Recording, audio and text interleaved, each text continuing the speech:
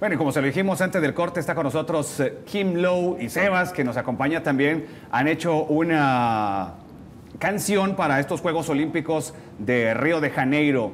Primero hay que hablar de una trayectoria larga en cuanto a la música emparentada al deporte y por eso está con nosotros Kim. Qué gusto saludarla. Hola, Bienvenida. Gracias, gracias por la invitación. Sebas, ¿qué tal? Gracias, mucho gusto. Bueno, háblenos de, de esta canción. Me, me parece muy buena porque inspira, a- primero se llama Vuela. ¿Por qué Vuela?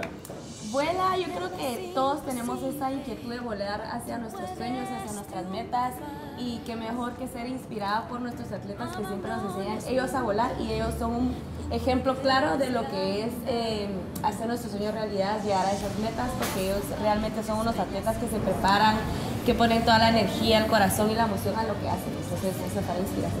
Hacemos un símil, digamos, de, de cosas que, que quisiéramos hacer con estos atletas, que en este caso son 21. Sí.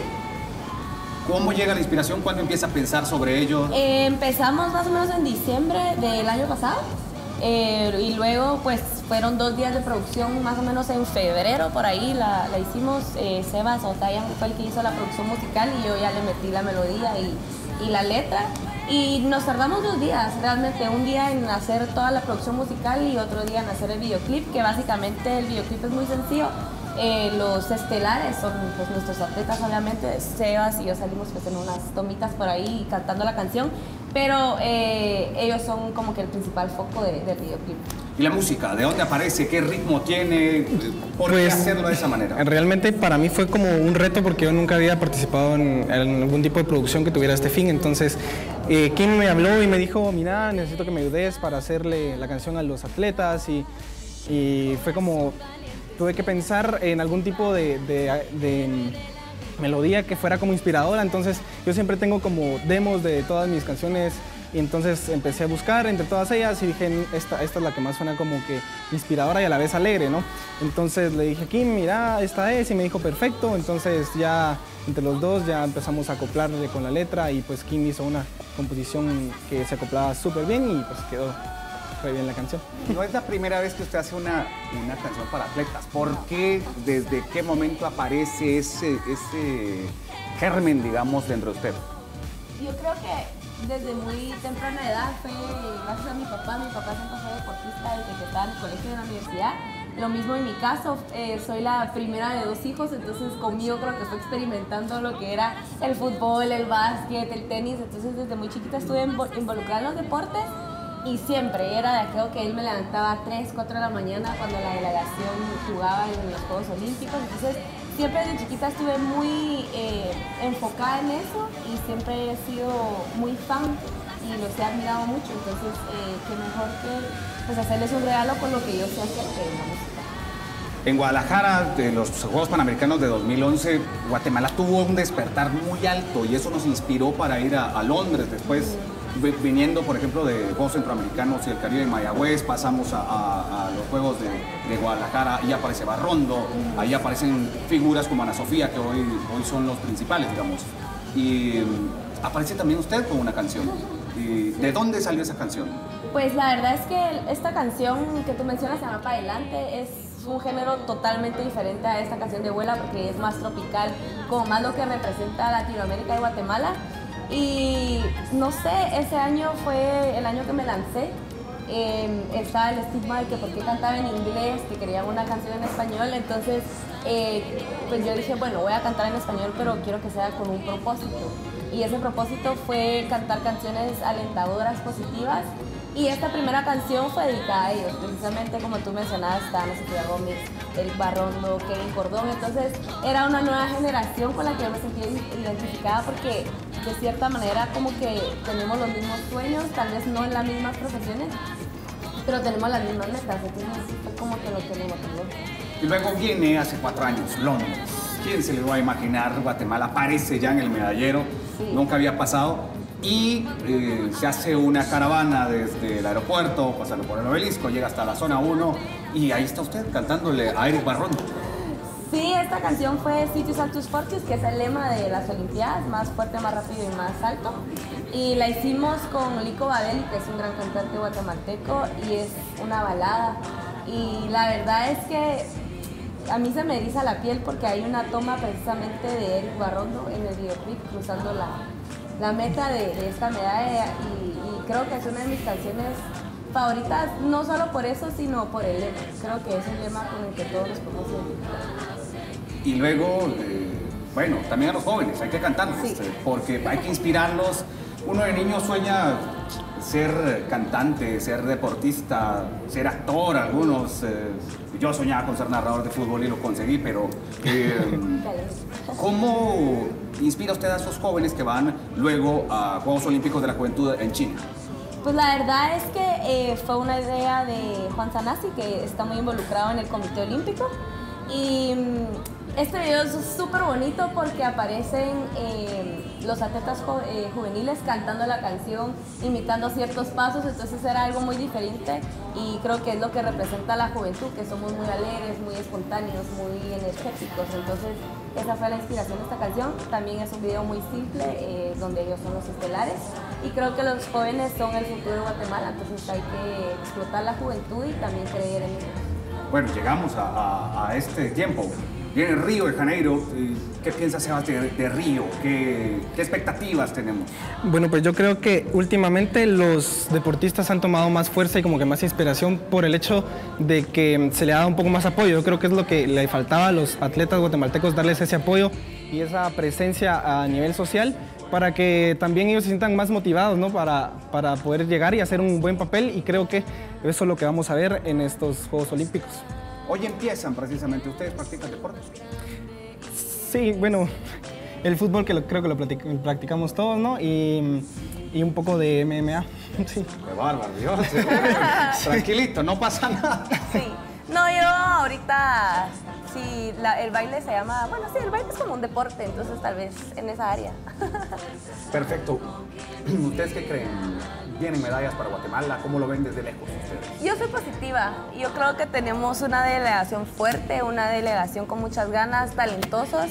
Y yo creo, yo soy soñadora y yo creo en mi, en mi gente y en mis atletas. Y yo creo que sí tenemos posibilidad de una medalla.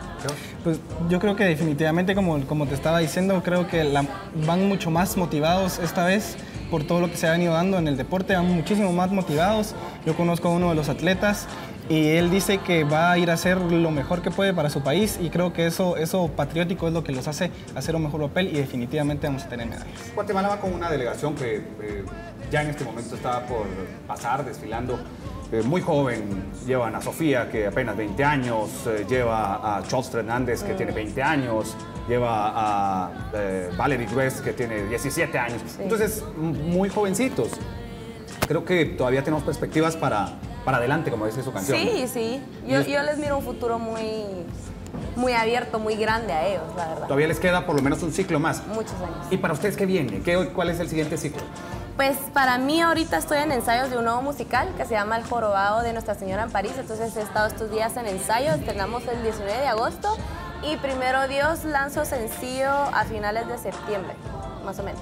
Bueno, ahí tenemos que hacer como un corchetito, porque estuvo en una de, las obras musicales más importantes de Guatemala, diría yo.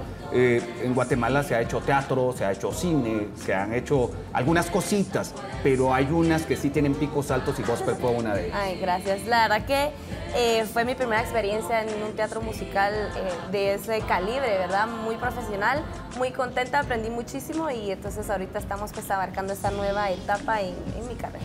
Lastimosamente son temporadas muy cortas. Sí, esta, la de ahorita son cinco semanas, pero todo depende del público, si le gusta o no le gusta, probablemente la extendemos. Sebas, ¿qué viene? Pues ahorita estoy trabajando en un nuevo sencillo para lanzar cabal en septiembre. y pues he estado veniendo trabajando y es un género un poco diferente, un poco más eh, de lo que le está gustando un poco a la, a la, gente y pues esperamos que contar con el apoyo que hemos tenido. Si pudiera describir en pocas palabras eh, la canción eh, Vuela, ¿cómo la describiría? Yo la describiría motivadora, emocional y alegre. ¿Qué le parece si motivamos y alegramos a todos y la escuchamos? Me parece, me parece súper bien. Perfecto, entonces es momento de escuchar esta canción muy inspiradora, bastante buena. Se llama Vuela, Kim Lowe y Tayan. Quédese con nosotros, escúchela y súbale volumen al televisor.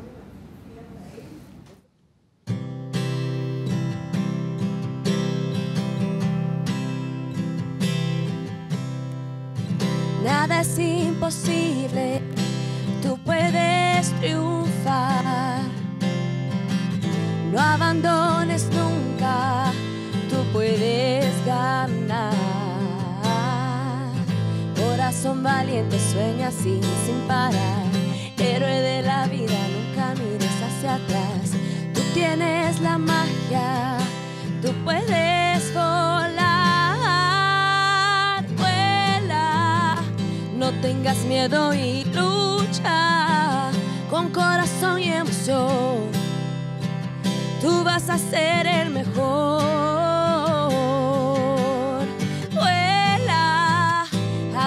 Tus alas, demuestra que eres todo un campeón. Tú vas a ser el mejor.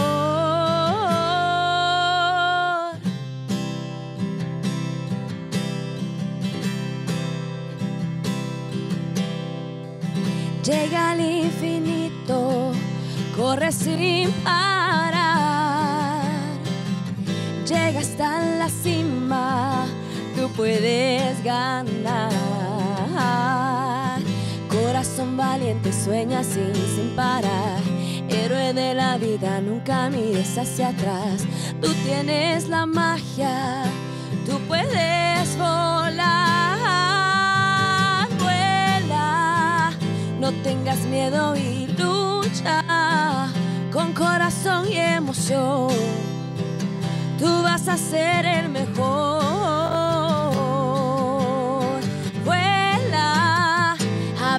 Alas, demuestra que eres todo un campeón. Tú vas a ser el mejor. Vuela, no tengas miedo y lucha con corazón y emoción. Tú vas a ser el mejor. Vuela, abre tus alas, eres todo un campeón. Tú vas a ser el mejor. Vuela, abre tus alas, demuestra que eres todo un campeón. Tú vas a ser el mejor. Vuela, abre tus alas, demuestra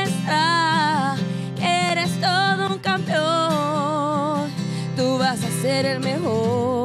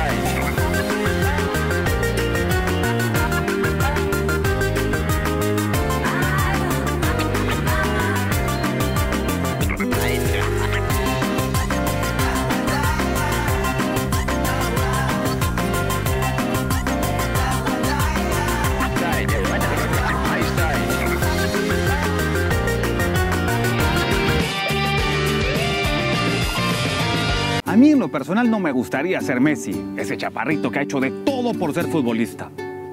Pero no, a él la gente lo quiere ídolo. Y si no lo compara con Cristiano Ronaldo, lo compara con Maradona y de alguna sale bien librado. Pero si pierde su selección, ¡ah! todo el mundo lo critica, le dice de todo. Y entonces ahí te das cuenta que el fútbol no lo es todo. Y entonces ves que hay ídolos salidos del pueblo. A mí, en este momento, si me preguntas quién quiero ser, yo quiero ser Eric Barrondo. Vayamos a traer por pocos el oro que un día se llevaron los extranjeros de Guatemala.